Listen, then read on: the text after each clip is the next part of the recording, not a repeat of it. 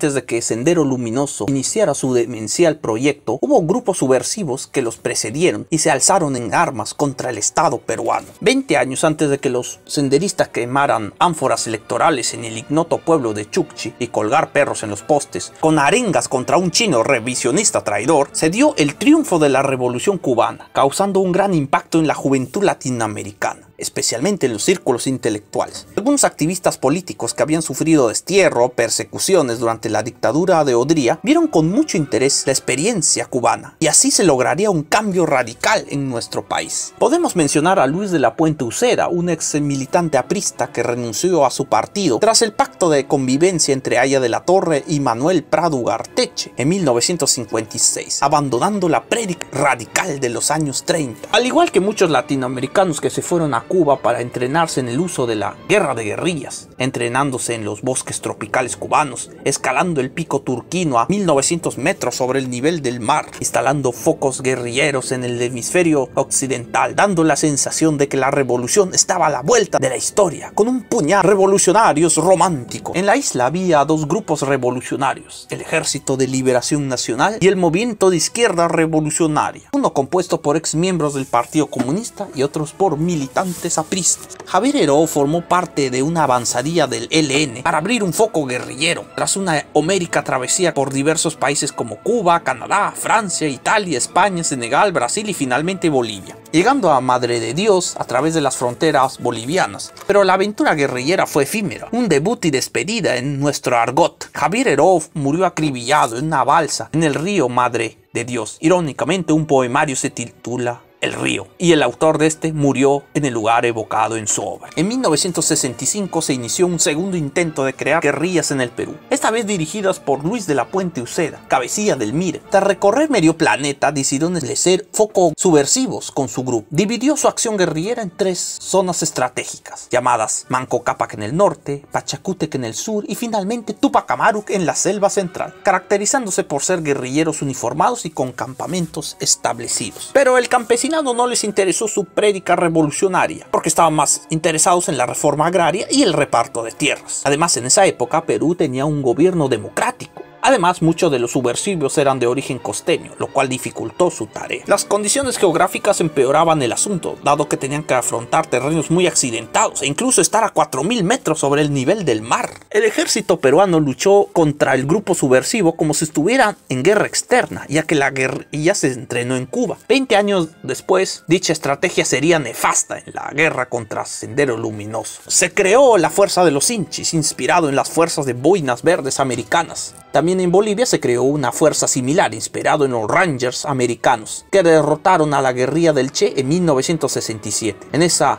lucha estuvieron algunos peruanos. Luis de la Puente Uceda y sus acólitos murieron violentamente. Los últimos reductos fueron aplastados en enero de 1966. Su clamoroso fracaso se debió a las concepciones románticas que tenían sobre el campesinado como fuerza revolucionaria. Abimael Guzmán despreciaba las teorías foquistas porque estas eran llevados por burgueses bobalicones jugando a ser guerrilleros. Sería el inicio de su delirante proyecto. Amigos, si el tema les gustó, coméntenlo, denle like y suscríbase al canal.